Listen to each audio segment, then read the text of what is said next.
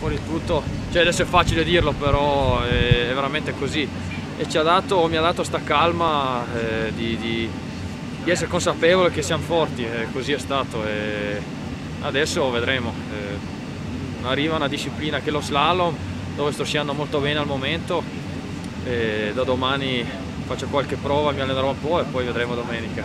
Sono serviti quattro quarti posti?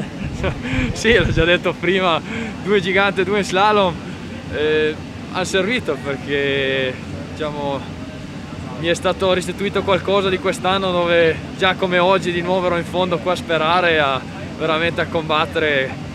Eh, ho guardato a Svindal che qualche sbavatura destra-sinistra, e però poi alla fine ha bastato per arrivare terzo io e di questo sono contento.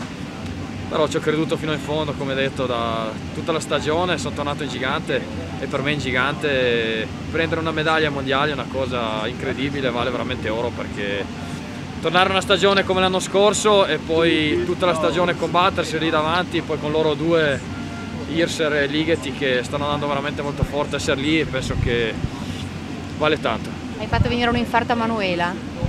Sì, beh, va bene che anch'io sono fatto venire a me, no, a Manuela l'ho vista subito, ce l'ho sentita dal parterre anche se c'era tantissima gente e sì, mi ha menzionato quando l'ho vista perché so cosa ha passato anche lei e sono molto contento per il risultato che ha fatto lei ieri, un passo in avanti e poi oggi il mio risultato sicuramente gli dà tanta carica e combattiamo e guardiamo avanti. Grazie Manu. Manu, eh, Manfred, solo una domanda. Eh, c'è stato soltanto un momento negli intermedi in cui avevi perso qualche cosina.